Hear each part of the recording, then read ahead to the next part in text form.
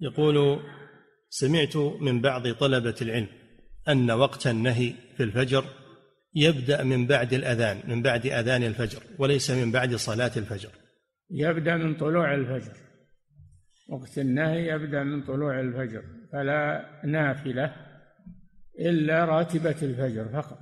ما يصلى نافلة بعد طلوع الفجر إلا راتبة الفجر قبلها. نعم.